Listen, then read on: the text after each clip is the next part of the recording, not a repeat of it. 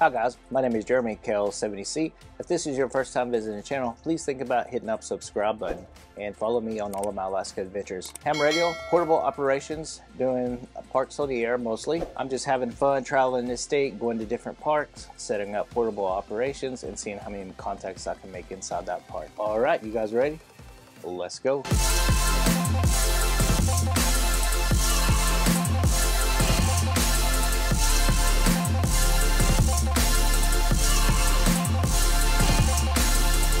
So the last two weeks have been a little challenging for me.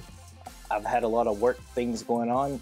I had to travel to Portland, Oregon this past week uh, for a sales class uh, that was put on by Lennox. I am in the HVAC trade and I'm an estimator for the company I work for. That was pretty cool. I was able to meet uh, Charlie, W7RTA. Uh, was able to get out and do a POTA activation. I didn't record any of the activation. Um, not not all times I'll record every single activation. Um, it's it's good to just get out and have not have to worry about setting up the cameras and, and all that good stuff. So so back to week three and four, and I apologize again that uh, that this video was kind of late for week three and four, uh, but I decided to put them together. So still doing the Morse Ninja uh, every single day. I take that back. I've kind of missed a couple days um, just because of the work schedule. I, I, I try every time that I have to drive into Anchorage uh, because it's about an hour commute for me to listen to Morse Ninja on the way there, listen to it on the way back. Um, but but sometimes it's it, it's not feasible for me. Either I'm on the phone with a customer or talking to uh, one of our installers or something of that nature. So it doesn't always work out, but at the least I still try to do some form of Morse code in a day, whether it be um, looking at uh, license plate like we talked about before, kind of banging off those license plate numbers and letters in CW. So at this point, I know all the letters, I know all the numbers, um, of course the question mark, the period and some of the punctuation um, I haven't really gotten into. As far as sending it, I can send it all day long. Um, I still have a little trouble with copying. I'm still learning the, the CW Morse Ninja, the videos that are copying at that 20 words per minute.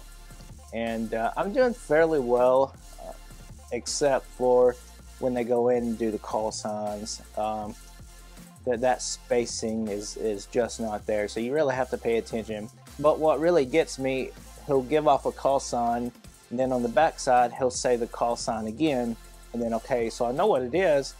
And then as soon as I hear the the Morse code after that, I'm like, how in the world did I not get that? Uh, I know it, but it, it's just it's just you have to train your brain to uh, think a little quicker.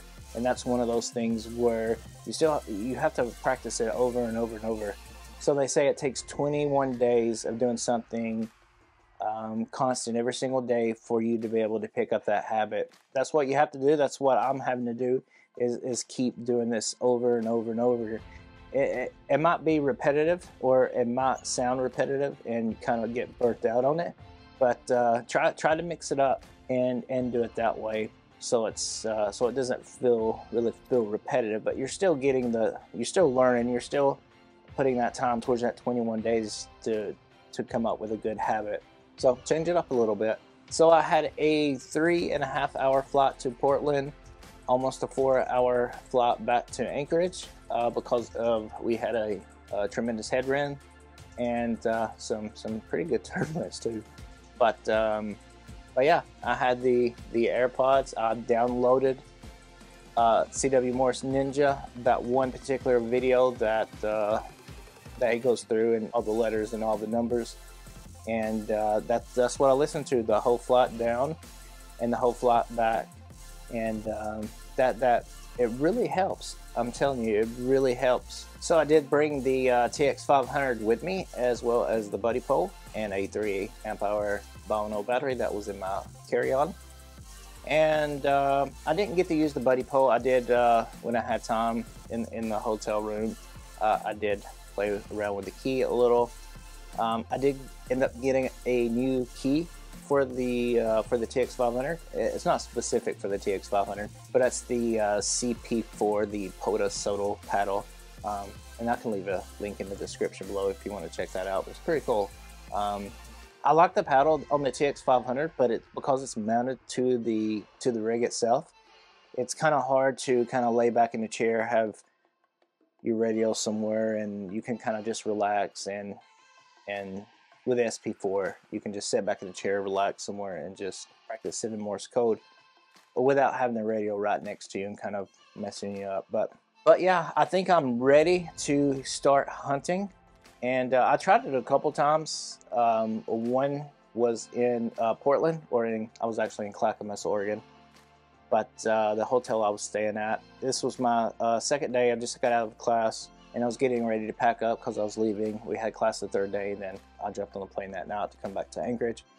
Um, but I really wanted to see if I can do some hunting, so um, I was bored. I had the Buddipole or the Buddistick, rather, uh, with me, and I was like, I wonder if I could set it up in the room. So I did. I, I set it up in the room, uh, and uh, I was able to. The antenna itself is taller than uh, the height of the room, um, so what I had to do is ended up taking all the legs out from the tripod itself except for one and then shorten the whip just a, a hair um, and I just made up by that by extending uh, the, the coil essentially I, just didn't think it was going to work um, but it uh, but it did uh, I don't know how uh, I, I, didn't really have anything to to hook the radio to to kind of get it off the ground so I kind of uh, well just laid it on the ground, wound out the radio uh, for 20 meters. It was just laying on the ground. I was like, there's no way in heck this thing's going to tune up. But, um, but yeah, it, it, took me about less than, less than three minutes uh, doing a couple tweaks with the radio. And then I had like a, a 1.55, 1.56, something like that, um, which was absolutely crazy. Um, so then I went on the POTA spotting page. Of course, there was nothing on on 20 meters um, CW, so uh, I was kind of bummed out about that. Nonetheless, uh, you know, putting up antennas, uh, it's, it's all about experimentation. As far as I don't know how well it would have worked, being inside the room, being in downtown Clackamas, uh, a lot of interference, I would imagine. The, noise level was a little high, but uh, but still, there was uh, there was just nothing on, no CW POTA stations, so it's still a lot of fun but I'm really looking forward to um, using what I learned and at least start hunting um, some CW POTA stations. All right, well, I appreciate you guys watching. I thank you so much for following me on my CW journey.